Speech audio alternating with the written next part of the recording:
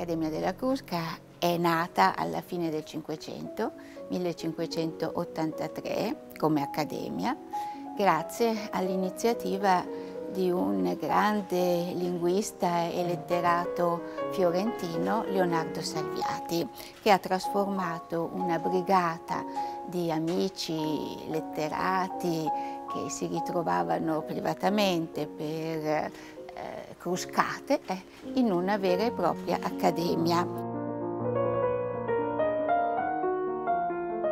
Molti ci chiedono perché questa accademia si chiama Accademia della Crusca. In effetti potrebbe chiamarsi Accademia della Lingua Italiana, ma gli accademici hanno voluto mantenere anche nell'ultimo statuto il nome tradizionale. E il nome tradizionale deriva da una metafora. La, la, lingua, la buona lingua, è come il fior fior di farina che si ottiene eliminando le parti meno buone del grano e in particolare la crusca. Qui eh, c'è evidentemente una vena scherzosa, ma poi la metafora si espande perché le schede, per esempio, per fare il vocabolario non sono conservate in armadi normali, ma in sacconi simili a quelle dove si conservava il grano.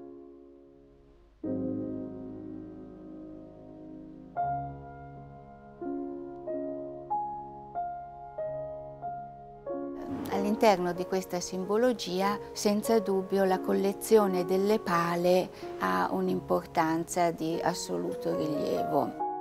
Ogni accademico era rappresentato eh, da una pala, cioè eh, da un'impresa che conteneva il suo nome accademico, per esempio infarinato nel caso del Salviati, un'immagine che lo rappresentava, per esempio il riccio che grufola nella farina per cercare eh, il meglio all'interno del, della farina stessa e in genere un verso di Dante o di Petrarca.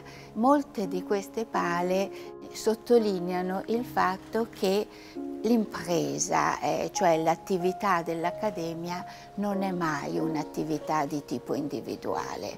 Per esempio in una pala eh, c'è una ricotta eh, con un pezzettino di pane inserito dentro e per me solo non basto.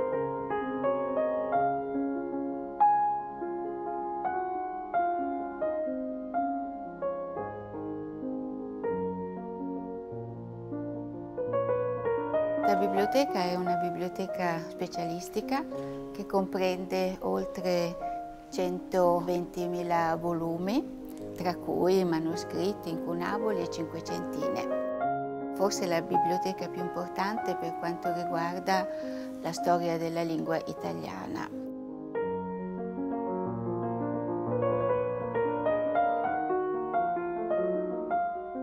L'Accademia attraverso il vocabolario ha dato consistenza materiale a una lingua comune.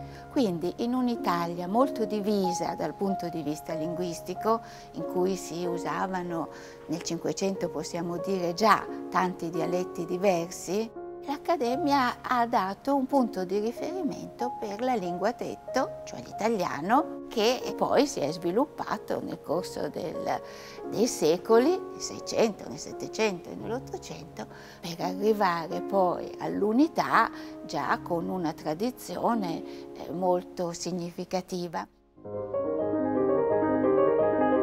Oggi il vocabolario è fatto dall'Opera del Vocabolario Italiano eh, l'OVI, che è un istituto del CNR che abita eh, con l'Accademia della Crusca in questa bellissima sede, la Villa Medicea di Castello.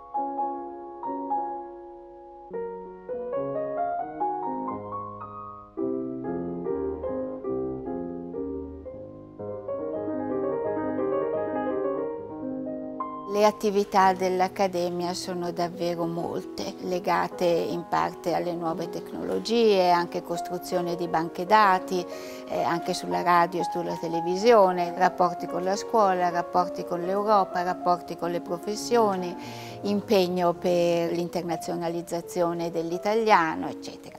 Un, un arco veramente impressionante di attività.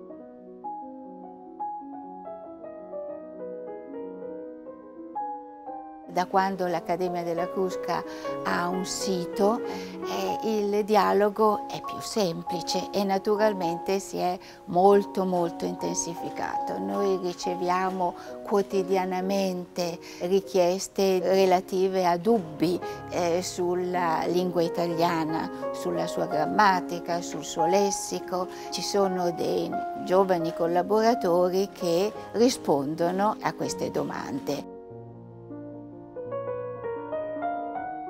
In questi anni abbiamo lavorato moltissimo nel campo della digitalizzazione attraverso il progetto della lessicografia della Crusca in rete per cui si può entrare ora nelle pieghe delle cinque edizioni del vocabolario, ricostruire la storia delle parole della nostra lingua, possiamo dire dal 300 fino al 900 abbiamo fotografato, marcato e reso interrogabili molte delle grammatiche e molti dei vocabolari contenuti nella nostra biblioteca. Quindi ricerca scientifica, formazione soprattutto rivolta agli insegnanti, ma naturalmente anche molto ai eh, ricercatori nel campo della filologia e della storia della lingua italiana e attività di alta divulgazione con quell'obiettivo che ritengo fondamentale di eh, elevare il grado di consapevolezza linguistica non soltanto all'interno dei nostri confini ma anche al di fuori.